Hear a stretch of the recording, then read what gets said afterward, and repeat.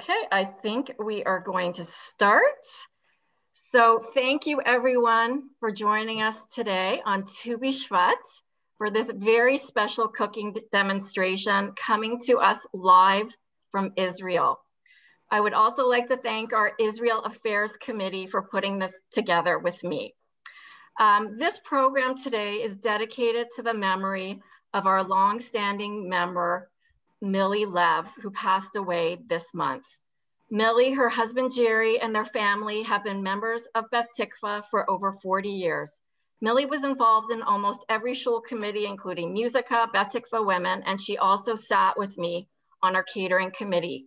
Millie was always cooking in our sisterhood kitchen. She was a foodie at heart and shared many of her wonderful recipes with members, whether it be at the art show, Kiddush, or making desserts for our Musica concerts. I should mention that her daughter Jennifer also joins us here today. I'd like to introduce our special guests who will be leading today's program. Shawna Goodman-Sone is a graduate of McGill University with a BA in art history.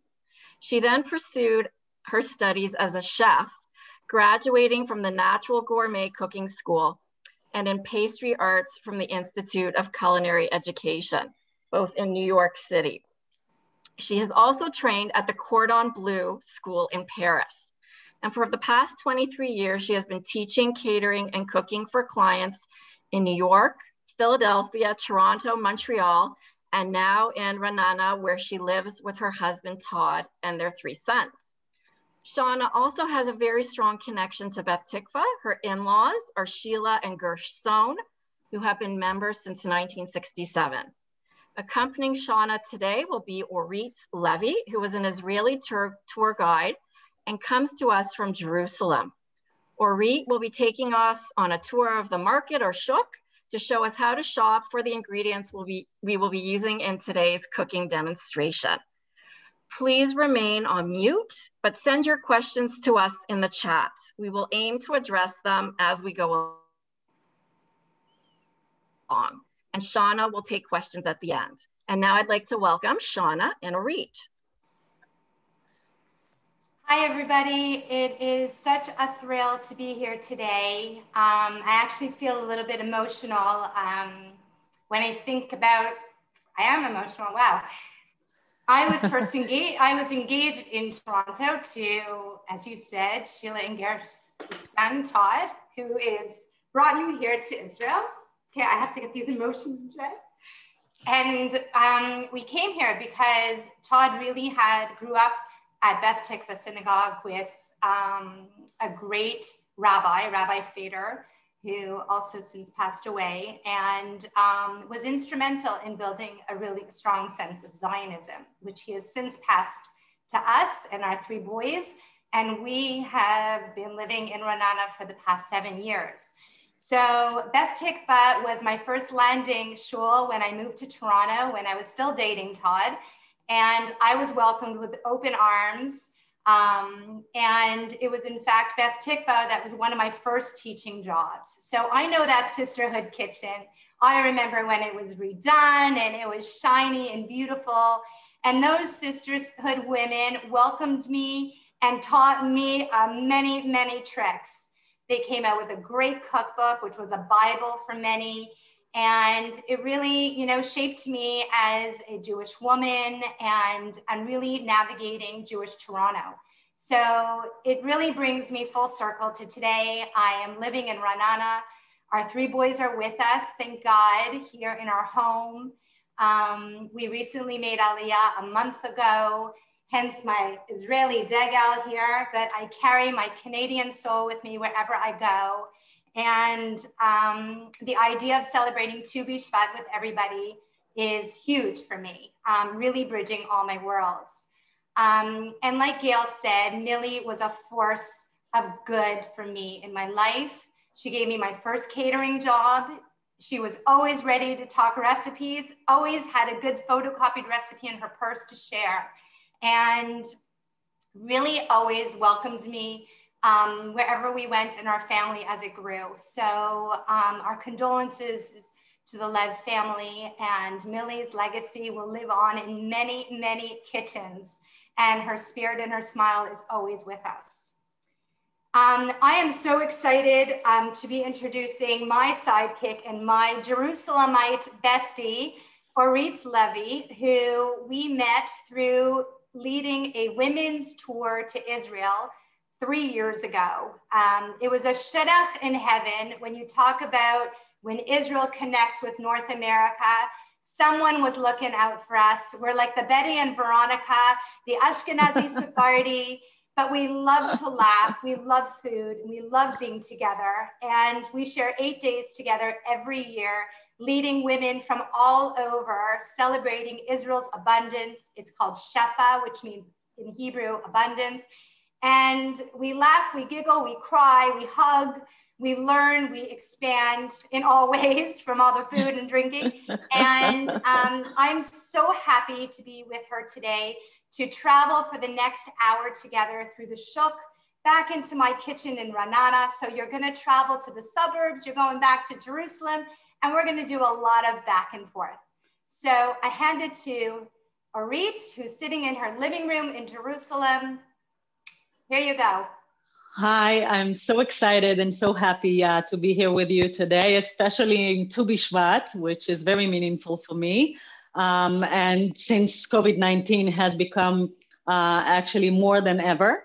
And so I'm really happy to, uh, to be here. I'm, um, I live in Jerusalem. I'm a Jerusalemite uh, tour guide. I was born and raised here. Uh, I was in the culinary field for many, many, many years and uh, thank God I'm not there anymore. But then, uh, not in the restaurant business. Uh, but then a few, like 10 years ago, I uh, became a licensed tour guide. And since then, I'm combining my greatest loves, which is uh, food and travel and people. Uh, and I, as Shawna said, doing it every year with Shawna in the Abundance Shefa, which is something that I wait for for the whole year because it's the most amazing experience uh, that I have every year. Um, the, um, I live in Jerusalem in an area which is called um, uh, Rasko, which is right next to a valley, the Valley of the Cross, Emek HaMatzleva. This is very green and beautiful area, and it's in a walking distance to my second home, my favorite place in Jerusalem, which is Machane Yehuda Market. Uh, Machane Yehuda Market is a home for me for the last, um, well, since I was a kid, actually, I know the market and I was shopping there with my mother. But over the last 10 years, I guide a lot of culinary tours over there. And this is really my second home. I'm there almost every day.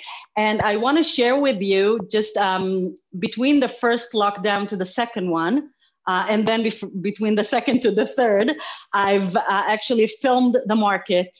Uh, and it was a great experience for me because usually I travel there with people. And now when I don't have the tourists, I said, okay, I have, must uh, bring the market to them. So this is uh, what I've tried to do. And what I'm going to share with you during this uh, beautiful meeting is um, a few um, places in the market that I find uh, very inspiring. Uh, so first of all, I'm going to share with you a very short uh, film that I've done of the market, just to get you into the mood and the atmosphere. So we'll start in a minute. And there we go.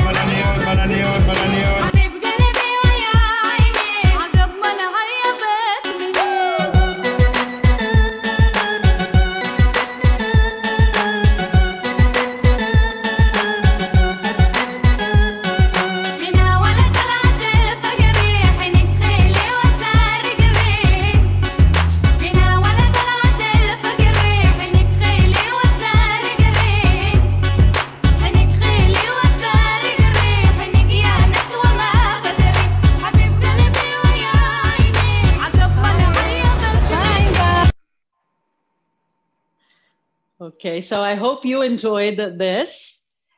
Uh, and um, I just want to say that um, what Shawna and I are trying to do is, in a way, to bring Israel and the market to you. So uh, back to you, Shawna. What are we going to cook? okay, so the first recipe we're going to be starting with is tahina, because tahina is the ubiquitous drizzle that you put on everything here. And I feel like it's a staple that you need to know how to play with because it can be enjoyed savory, drizzled on a falafel, or it can be enjoyed sweet in a piece of halva. So I'm going to play with, show you what the multitude things you can do. But first, the basic thing is starting off with an awesome product. Yes, this bottle is huge. And um, yes, it feels like ooh, uh, a little daunting, but believe it or not, it probably takes me a month to go through something like this. So that is how much it's used here. And for all those who don't know, tahini is made of sesame seeds. Sesame seeds, just plain old sesame seeds that have been roasted and ground up, which you're going to learn more about in the market. And it comes in bottles, and often it's very liquidy, uh, which is a good sign. And like a fresh peanut butter, it needs to be shaken because it does separate. It's all fat, but good fat, not fat to be afraid of. Fat, to embrace, fat that will make your nails hard and your hair shiny. And believe it or not, with all us being inside all the time, we'll take whatever it takes to get that glow happening.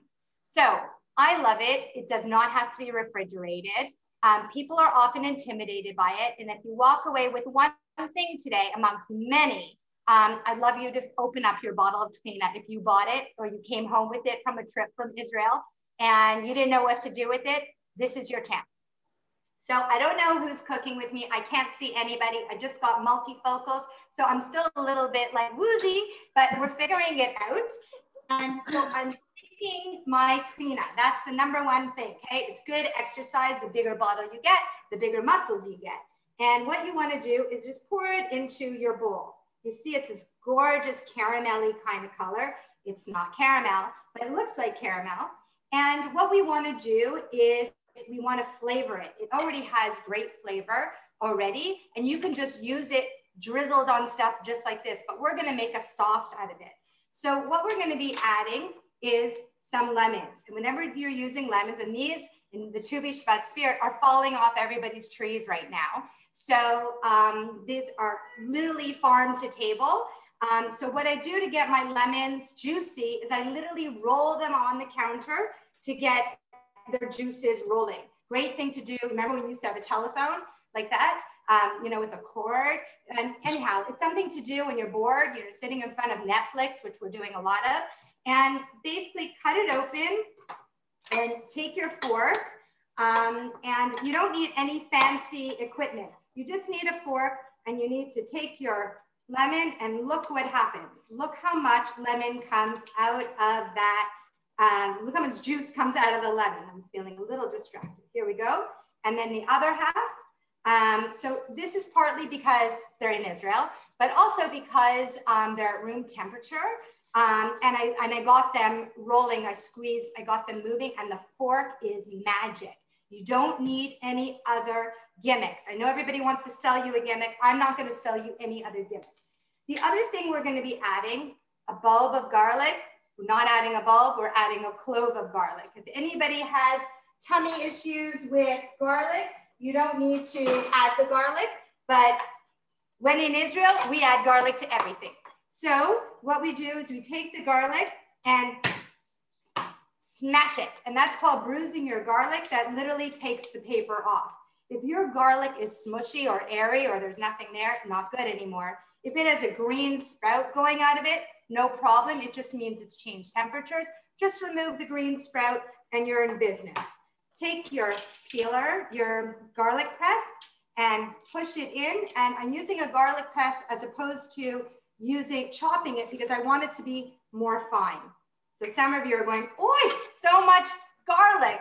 If you don't want that much garlic, you don't need to add all that garlic, okay? You guys are the recipe creators. So what happens when you add liquid to another liquid? You think it's gonna get liquidier, right? More loose. Opposite, hafuch.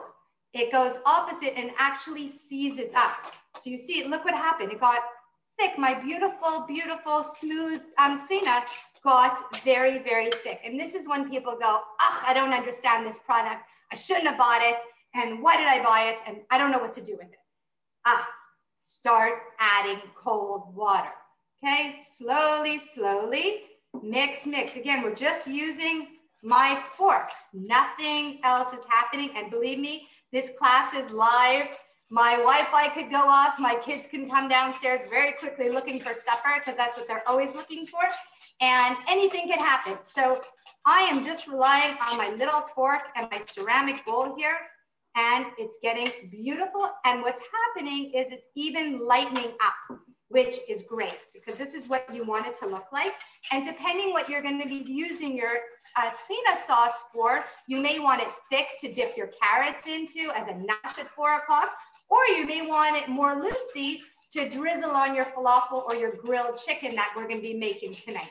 So here we go. We have this beautiful, beautiful, I hope you can see, it smells like garlic, but it also smells like, like, like roasted sesame seeds. It just smells really, really lovely. And if any of you also like, you can add a little bit of cumin. And so cumin brings it right to the shuk. And if you don't like cumin, you don't need to add it. And of course, we always need to remember we need a little bit of some salt and we need a little bit of pepper. And as they say here in Israel, zehu, this is it super, super simple, can be made, can be kept in your fridge for three days. Um, you can't freeze it. So that's why I have a big bottle in my pantry at all times. I pour it when I need it. And it's the quickest thing to make, um, especially when people come over, which no one's actually doing these days here. But when they do, you will be ready. So I pass it to Orit to show you where tahina comes from. Okay, so as you said, first of all, I've tasted uh, Shawna's tahini and it's amazing. And um, in Jerusalem, there's a very famous place that sells tahini. There's a lot of different uh, tahini factories, but this one is really popular. And it's a great place because they produce tahini from 1947. And as Shana said, tahini is the Israeli ketchup. It's amazing. We eat it with everything. So I want to share a video that I've made on tahini in a place that is called Mamlechet HaChalva. Uh, Mamlechet HaChalva, as I've said, is a very uh, famous place in uh, Shuk Machane Yehuda, and I hope um, you'll see more about it. If you're Israeli, you have to love tahini.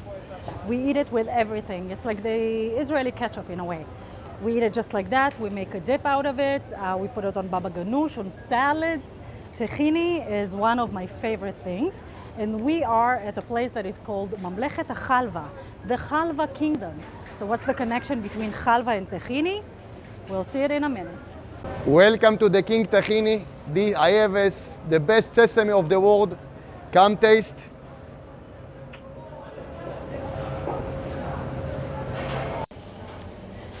Tahini is made from sesame. The best sesame comes from Ethiopia. It is cleaned and then put in this amazing machine that takes the sesame seeds, as you can see, and grinds them in between the stones. And it comes out as 100% sesame seed paste. So this is Oren from Mamlech Chalva, and he is going to give me some taste of tahini. This is the best of tahini. So the first one is the basic one, right? It's the classic. And this is 100% sesame seed paste, the classic one, which I love. And I put on everything. How many flavors do you have? I have 25 different flavors. 25 different flavors Yeah. of tahini. Yeah. That's amazing. What, what, like what, for example? Like sweet, salty, spicy. I would try the wanna try? spicy. Yeah, the Spicy spicy. one? Yeah. I'm Moroccan. I should, uh, I should be fine. Is it hot? Harif? It's Yeah? spicy chili. Oh, spicy. Tough. Do you have something sweet? Yeah. Uh-huh. You want coriander, you want the uh, dates honey, chocolate, nougat. Chocolate, of course, chocolate. I have to. Wow, chocolate tahina. Magniv. Oh my. This is like a dessert. It's amazing.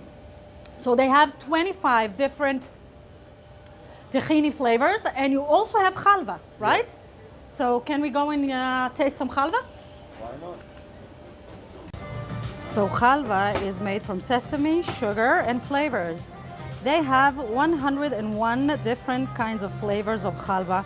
You can see here lemon and chocolate, pecan, uh, hazelnut, cashews, chocolates, lots of chocolates. And one of my favorites is whiskey, pistachios, and the classic one, as you can see over here. I have this the special one. You have a whiskey one. Whiskey, yes. Yeah. This is the whiskey one. Okay. Oh, wow. Very Amazing. special. Thank you. איזה טעים זה. Okay, what else do you have? And I have pistachio. This is the best seller. Wow.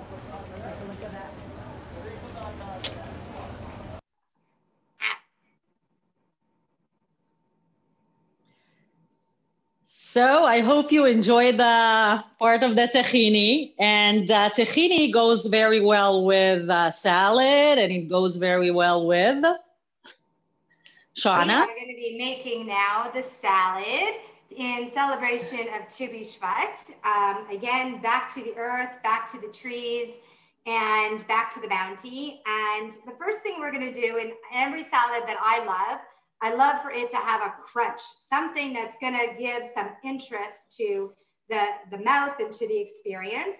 And every nationality has a crouton of some sort. So we're going to be making pita chips because pita bread is the ubiquitous bread of Israel. And I don't know about you, even when I lived in Montreal, when I lived in Toronto, somehow I was always left with one pita and the sad little pita left in the in the bag. And I was like, ugh, what do I do with it? Nobody wants it. It's getting old. I can't build a whole meal about it.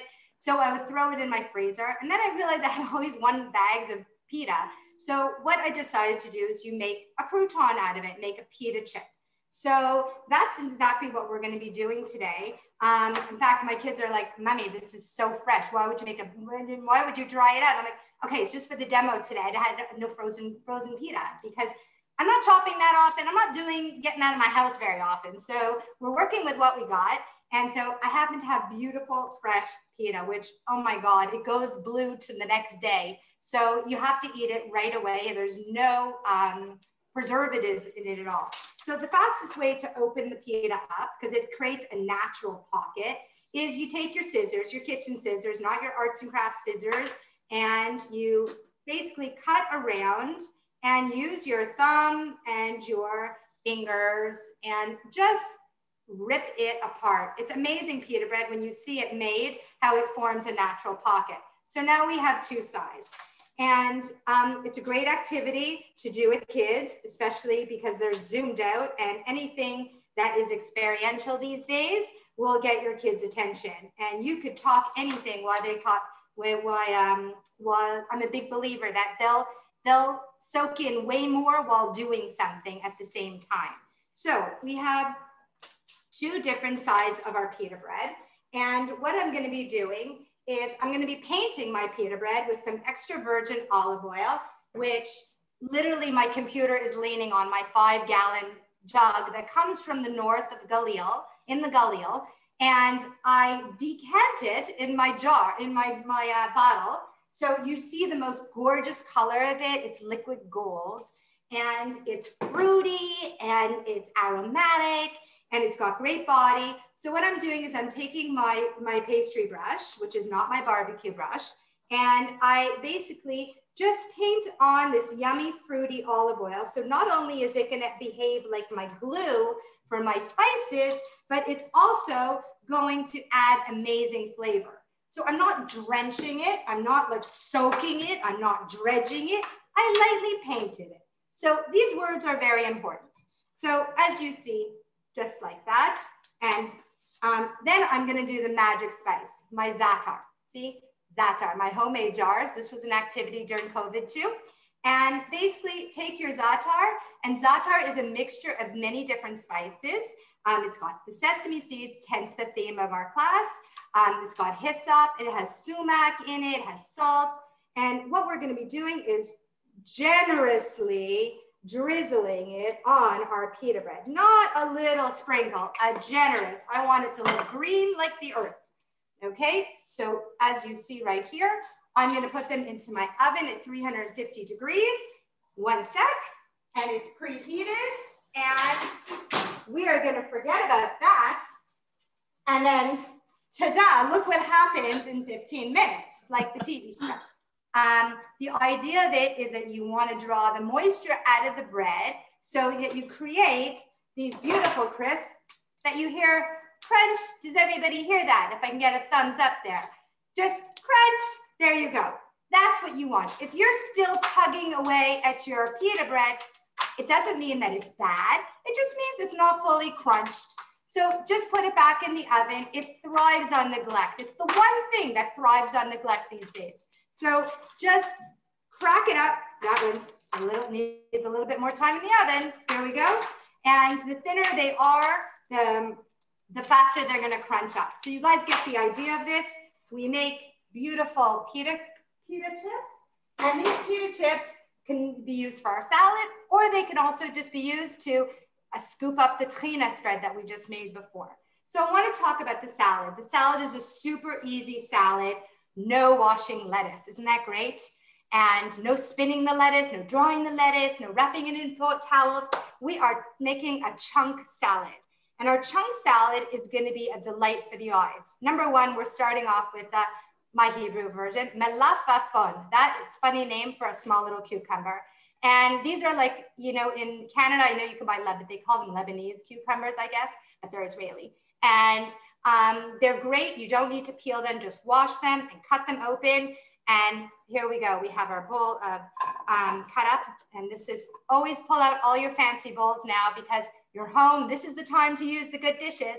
So this is the one I made during my food, my little activity. Then we're gonna be adding some gorgeous peppers. You can add, the recipe calls for a green pepper. If you like green pepper, personally, I'm, I'm, I like to play with my peppers. And Israel is known for their peppers, their peppers and their tomatoes. So let's celebrate what Israel's great at. And um, so I have gorgeous orange peppers and I have some um, uh, red peppers. And then I'm gonna add a little bit of some spice to it. And my spice is gonna be using green onion, also called a scallion. And you can use the whole onion, okay? Very important. A lot of people think you, you can only use this part and they throw away this part. You can use the whole thing and adds great flavor without the, the sharpness to it. So I have my green onion here like this, but again, we're not going out so often. So if you don't have green onions or yours aren't looking so good, you can always substitute and use a little bit of red onion, again, because you eat with your eyes. So um, I love purple onion and I find that if it's ever too strong, cut it up and put it in a bowl of ice water and that will take the bite away so you won't start crying. Okay, so we have red if you want, if you don't have the green onions. And then what we have are pièce de résistance, the ultimate cherry tomato, another Israeli invention. Um, and so here in Israel, these like are everywhere and they don't get old and they're so yummy. So I, I found a gorgeous box of yellow ones. So again, I'm really into eating with your eyes. And um, I also have some red ones. So why not throw them into the party and just cut them into quarters. So everything is represented well. So as you see, it's looking like a great party in here, right? Like you're already excited to eat it. And we have to add some green to it. So I have my herbs in a glass and treat them like a plant because hey, it's Tu B'Shvat. And I'm using flat leaf parsley. You can also use curly parsley. I'm not the biggest fan. I find flat leaf parsley has a much better flavor to it. And what I'm gonna do, I'm just gonna cut off a part of it and this is for my chicken soup tomorrow, okay? It goes right into my chicken soup. The stems are full of flavor. And I'm also gonna be adding some, anybody know what this is? Nana, okay? Nana is also known as mint. And with Nana, you just wanna pull off the leaves to it. You don't wanna use the stems because the stems can be very woody and nobody wants to bite in woodiness. And notice that I'm doing the herbs last because what happens when you chop herbs and you um, they touch the knife, they're gonna oxidize and they'll turn black. So anytime you're cutting herbs for anything, you wanna make sure that you do that last. And it's not something you wanna do days in advance because it will turn black. And that's, as they say here, lo naim. So what I'm doing is I take my herbs, I have a big, beautiful bowl, take a smell, say a blessing, be grateful.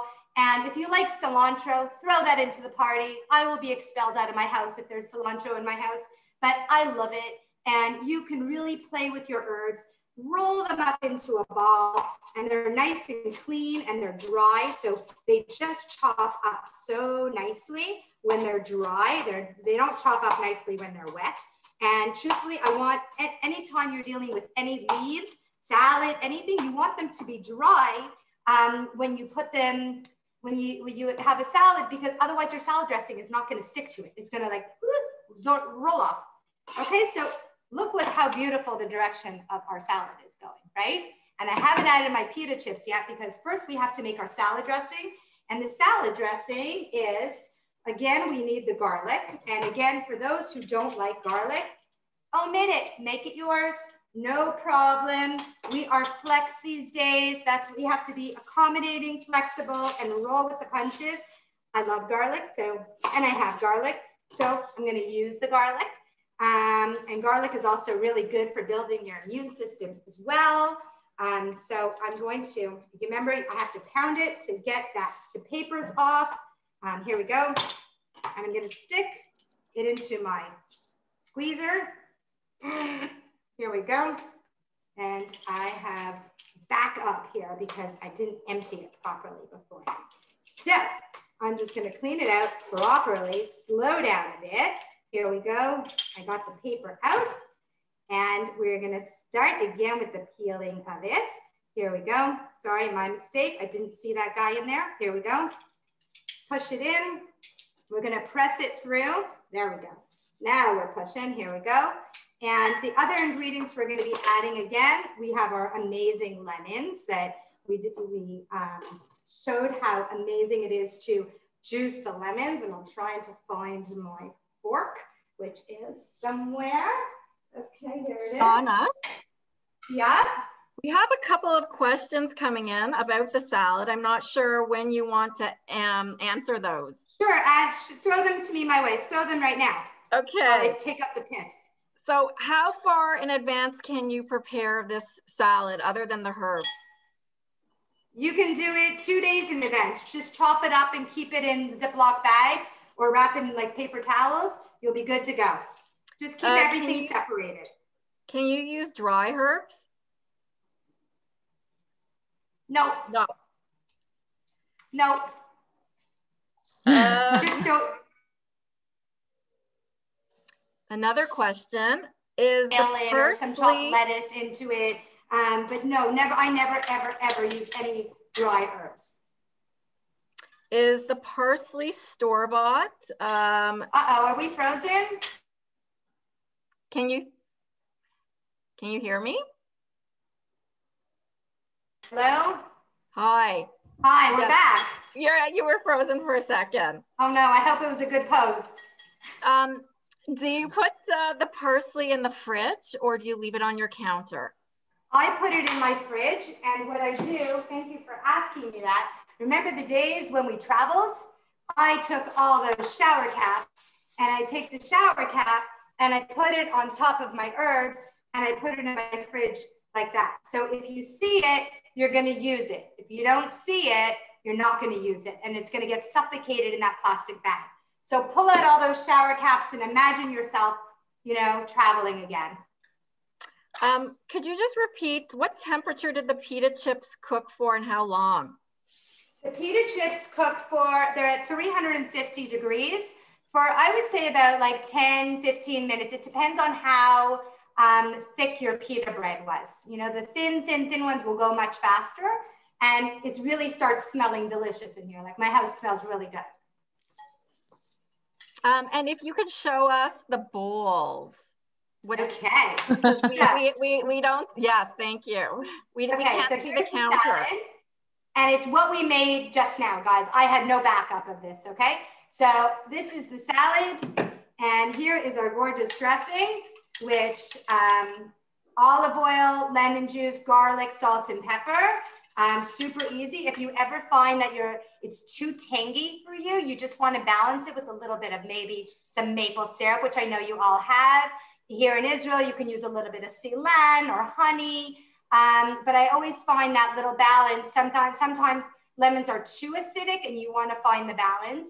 Um, so just balance it out with a little bit of sweetness, like a teaspoon of, and then you'll, you'll get there. And the best way to test, um, to test a dressing is actually take something from the salad and taste it and go, wow, that tastes amazing. Or, oh, it's feeling it doesn't have enough energy for me. So that's what you want to do. Thank you. Um, and just a reminder to everyone, uh, please send me, Gail, uh, at Beth Tikvah, your private messages. Thank you. Okay, so the salad is mixed right here. And, and now I'm mixing it up with my fork again, my fancy tool that I have such a sponsor for. Everybody has a fork in their house. Um, look how gorgeous this is looking. And I'm going to go get my beautiful pita chips and sprinkle them right on top. Remember, a crouton has to stay crunchy. You don't want a soggy one. In time, it will get soggy. This is life. But you got to maximize the good moments. Here we go. Here's our salad. And back to you, Orit. It looks delicious, really. And uh, the pita uh, croutons are amazing. Um, and the za'atar that you spread on top. And also, I want to show you um, yesterday I was in the market. Uh, we are on a lockdown, but the market um, is um, one kilometer from my house, so we can walk. Like if we go to shopping, one kilometer from our house is uh, is okay. So I went yesterday to the market, as I do three, four times a week. As I've said, it's my second home. And, I went into my favorite uh, spice store to buy some spices. And I want to uh, show you something that I filmed about the Israeli local spices, which is the za'atar and the sumac and the olive oil and the things that you can really find over here. So I'm going to share it in a minute. Uh, this uh, place is called Ras El Hanout, which is a great, great spice store. And here it is. Wait, sorry. There you go.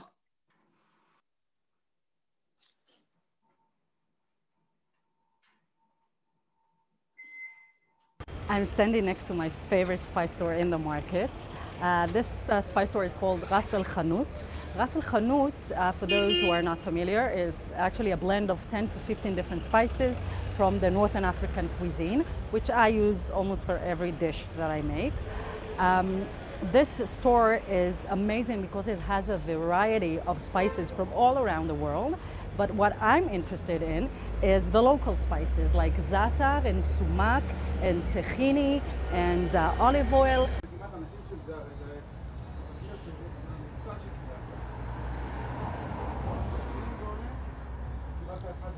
I love this store because everything is fresh and clean and you know exactly what you buy.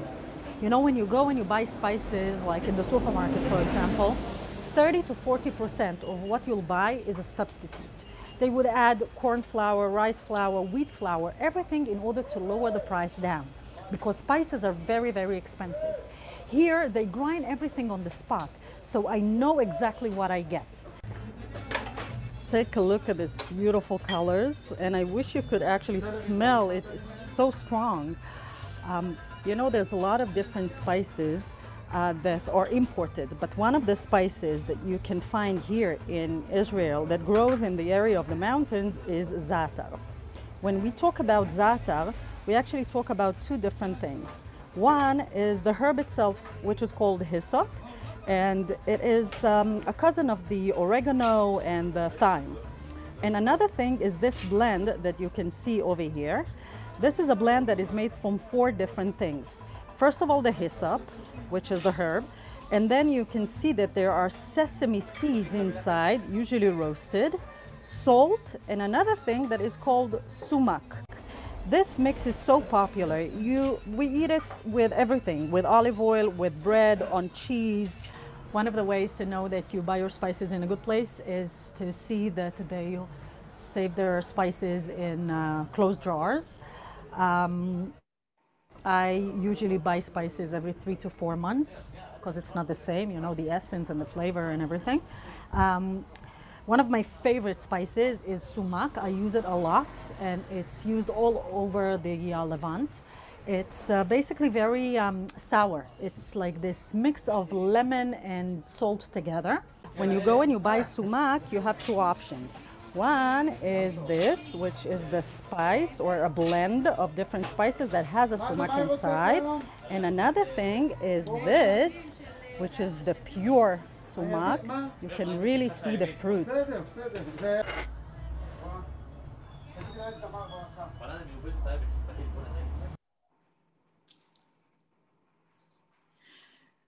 So I hope you enjoyed this uh, spice store. I love it. I shop every, um, I would say I change my spices every uh, two, three months, but uh, I shop there everything really. I love uh, going to the market. It has a lot of, uh, I don't know, I feel alive when I'm there because everyone is yelling and it's not the same. Like it's not as it used to be uh, until March, but still, if you want to feel some life, you go to the market uh, because you can see some people and also some of the stores and some of the places are still open. So as I've said, this spice store was open uh, yesterday and it was really uh, chagiga, like it was uh, very uh, fastest for me. Um, I um, we've had the tahini, which is amazing, and we've had the salad with all of the spices. What are we going to have uh, now, Shawna? Well, we need the main course. So, but first of all, that video of sumac, which is thank God for Orit. This is how we balance each other. I forgot to add the sumac to my salad. So part of the pizzazz of the fattoush salad, which the beautiful salad you just saw, is sprinkling it with the sumac, which is a, that beautiful spice that you just saw um, that from the market, from Ras El Hanout, and combined with the lemon, it makes you just like, just want to eat. So it has this gorgeous color to it. Um, I'm sure many of you know this brand Pereg. You can get it in Toronto. Um, and like Orit said, our spices do go bad. They do get flat. So um, look at this as an opportunity. We can't buy anything else these days. So go buy new spices and splurge. So back to spices, we're going to be making shawarma chicken. And you're kind of going, shawarma, I could barely understand what you're saying. What language is it? Well, I don't have an herb. Is it made with paprika? You know, yes, paprika is one of the spices, but shawarma is a mixture of different spices. So when you see shawarma spice that you buy in the store, and this is how they market, this is as authentic as it gets, the fancy packaging, they weigh it. Um, and this is like any store in Israel, even the corner store to buy cigarettes has shawarma spice, if you could believe it. With wow, it just pops out. And that's the difference when you have fresh spices versus old spices. Old spices aren't bad they're not going to ruin your food, but they're not going to wowsy dowsy your food. So already starting with quality ingredients that are fresh are going to improve your cooking 300%. So this is the shawarma spice I just bought yesterday, but we're not all lucky to get shawarma spice. And I want to show you how you can make your own version of a shawarma spice. And the recipe um, is, you know, Gail has it, so I'm not going to go through the details of it, but I do want to show you the, you know, how Orit felt alive in the spice store. I felt alive just making this little like um, palette of spices just to show you the richness of the colors, the richness of the flavors, and really like travel around the world looking at these spices. So for all those online, you can play the guessing game with me. Um, we have yellow, which is turmeric. Yes, I see some Paula is going, yes, she knows what that is. Um, and then I have paprika. Everybody knows paprika from peppers. Um, we have some cumin over here. We have some ginger over here. We have some coriander over here. We have some cayenne, harif, harif pepper over here. And who knows what these little green guys over here are? Those are called cardamom pods. And um, they're actually a very good digestive. And I just didn't have any flat cardamom at the point, this point, but you can roast these and then grind them in a coffee grinder and they're fantastically fragrant. So these, all these, uh, and pepper as well, um, all these spices come together to make like a curry powder, okay? So it's a shawarma powder. of it. And that's what we're gonna be seasoning our chicken with. And like what um, Orit said, when you go to these stores, you buy these bottles and you keep refilling. You don't buy bottles like this of spices. Um, and if I did, somehow the guy was heavy handed with the scoop, which they love to do. Um, what I do is I, you know, divide it up amongst my friends or I stick the, the balance in my freezer. And so all my spices are staying fresh in my freezer. And I just put small amounts in my containers and that way they don't get robbed of humidity and the strength. And, and you want to keep them in a place that's close to your cooking because if you have to go like this into something, I promise you, you're going to go, ah, I can't be bothered. And so you want them close to a place, but you don't want them in a place where lots of humidity are going into them because then it's going to rob all that flavor from it. And a great activity, I know everybody is uh, nesting and organizing and buying containers and stuff. You can reorganize, put cute labels, because I find I need to have the label on the top because I'm looking down at my spices and nothing is more annoying than having to go like this, pull every single one out. So whatever your system is, I like labels on top because I have a drawer and that makes it more accessible to me. So we're starting off with some boneless chicken and this is it. And the thing with chicken is, is that it doesn't, it doesn't take um, a long time to cook. Hence, that's why we're, we're doing it for this class. Also, it's accessible. Everybody, you know, has chicken. You can use the, as they say, pargiote. You can use dark meat. You could do white meat. Whatever makes your, you know, whatever your family likes to eat. That's the most important because we're not into, interested in making stuff that nobody's going to eat because, um, or make it for a friend or, you know, um, but we're not wasting. So what I have here is the chicken and I've added two lemons to it, juicing it. You saw how I juiced the lemons. I added some um, olive oil as well. I have added some garlic. These are all my toys. These are all my friends this class. And um, a heaping, heaping amount of shawarma spice, two tablespoons of shawarma spice. And this has been sitting for a few hours in my fridge with saran wrap. So what I'm gonna be doing is I have a grill pan over here. I'm not sure if any of you can see it. Here we go. It's right here. We're cooking live and um, the windows are open just in case. But if you don't have a grill pan in your house, which is totally fine, what you can do for this chicken is you can put it in a Pyrex and put them together, make them safuf, as they say, hug them, you know, because white meat especially goes dry very quickly. So put them in an oven at 350 and uh, before 25, and you can uh, bake Cook them for about 15 to 20 minutes. Again, it really depends on the thickness of your chicken. If you have very, very thin chicken that you, you know, like um, scallopini, like you really got it pounded, like so nice, and you're worried it's all gonna burn, roll them up and put them in a loaf pan and put them side by side like soldiers and put them in the oven together. And that way they, they're holding each other and you're not gonna get dry edges on that. So the most important is being mindful of the, of the sizes so they all cook at around the same size. So when you are using a grill pan, you always want to um, grease it a little bit. And I hope this works. Do you hear the sizzle? Here we go. I'm putting my chicken right on. Again, one day I'll have the overhead mirror here, but one day you'll be in Israel and you'll be in my kitchen. You'll be with Orit and I, and we won't have to do this computer mumbo jumbo stuff. But just an idea, I want you to hear that chicken going.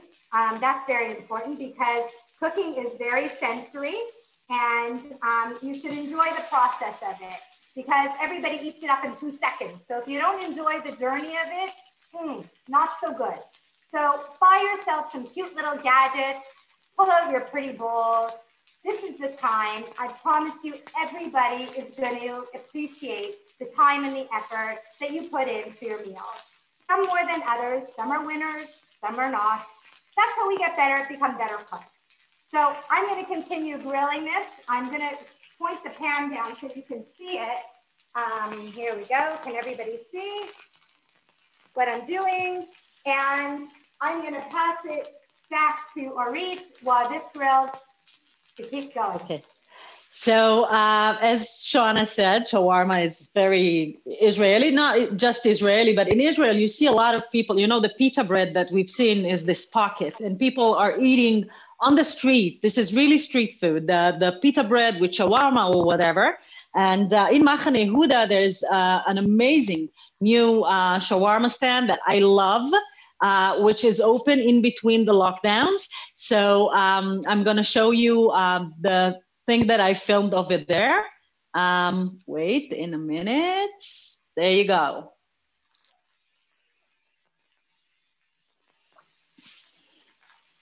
When thinking of the Israeli street food, I can't help myself from imagining this holding this pita bread, which is stuffed with hummus and falafel, or with schnitzel and chips, or kebab, or uh, shawarma, and of course some salads and tahini and amba and schug.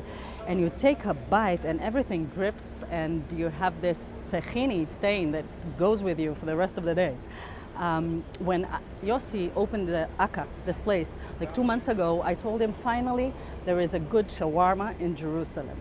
Now, shawarma, gyros, and doner are actually words to describe the same thing, which is the spin. And it doesn't matter if it's made from uh, chicken or turkey or veal or lamb, it's all delicious. We are going now to uh, meet Yossi and hear about his perfect bite. Hi, good morning. My name is Yossi, Yossi Zwebner. I'm the owner here in Akka. This is our pita bread. We take it and basically we hug the doner. What that gives us, we don't need the extra moisture, but what I do want is a little bit of the taste of the doner already built in inside the bread. Next stage, a little bit of scordilia. Scordilia is originated in Greece. It's uh, almond garlic paste with, uh, we do it with apple cider vinegar, a lot of garlic. If you're dating, try to avoid it. But if you're not, by all means. Afterwards, layers of freshly cut tomatoes, no seasoning to the tomatoes, a little bit of what I call, I know it doesn't sound very sexy, but sweaty onions, which means we cut the onions and we give it a little bit of salt. Not to salt it, just to redraw the moisture, to redraw the liquids and take a bit of the bite of raw onion out of it. So you get the freshness of the onion, but it's lacking the it's lacking the, the, the sharpness. It's lacking the, that onion taste that people usually less like. Next stage, the. We try to cut it very, very thin As you see, it's perfectly caramelized charred outside. And we have even a little bit of pinkness left on the inside. That's the advantage of doing something with veal. You don't need to stick when you do it with poultry, you have to have it 100% cooked. But over here, as you see, it's still a little bit pink inside, perfectly charred on the outside. Next thing that goes in is vegan yogurts. The vegan yogurt is made also with garlic, which you see we like very much. A lot of fresh mint, lemon juice and salt, and tofu, which less light, but over here it works pretty good. Amba, which whoever's been in Israel side and a lot of street food, you could find it in falafel shops and shawarma shops and sabich, which if you're familiar with. But we give it just a little bit of amba, just a little bit of hint, a little bit of acidity. We don't want the hardcore taste. We don't want it to overwhelm the rest of the sandwich.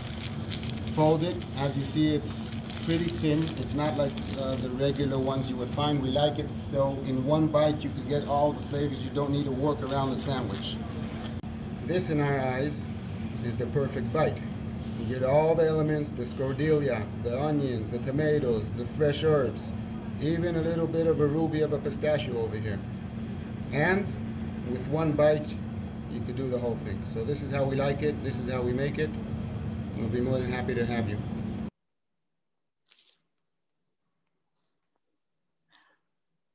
It's unbelievable. I ate an hour ago and I'm like, I look at that and I instantly want to eat again. It's, it's unbelievable. And what is amazing is that you can make a shawarma at home, which is as good and sometimes even better. So Shawna, how's your shawarma? so I have one gorgeous piece, all grilled and beautiful. The rest is still on my pan, as you can see the smoke. Um, but just so you see the grill marks, whenever you're grilling chicken, you never, you want to make sure your pan is super hot or your barbecue super hot and greased and put your chicken on and don't touch it for a few minutes. Make sure it gets seared. If you feel like you're tugging with it, that means that it's not ready to be flipped. Leave it alone for another minute. And then when it loosens up, it will tell you when it's ready to be flipped. So that's really the secret. So I want to close off with just showing you, we have our dinner tonight. My kids will be happy. We have the fattoush salad with the za'atar pizza tips. We have the beautiful Cleena that's going to go on my grilled chicken that's continuing to smoke up here. I have the chicken, the grilled chicken, just one piece as we're, we're pulling them all out. And I just want to do a l'chaim to, again, Millie. I know Diet Coke was her favorite drink. She always brought it wherever she went. So um, l'chaim to um, a life, a beautiful legacy, a beautiful community.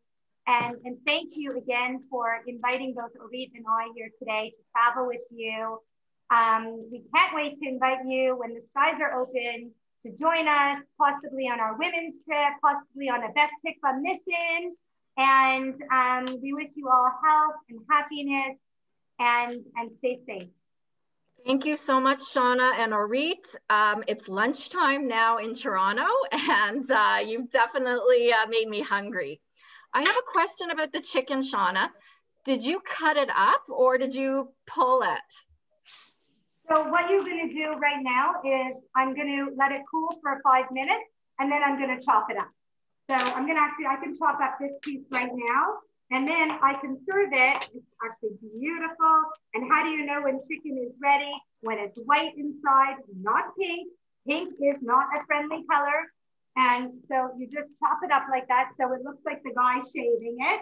And um, to have some pita around, you know, you could stuff it in pockets. If you don't want the carbs, forget the pita. You already have it in the salad and you're good to go.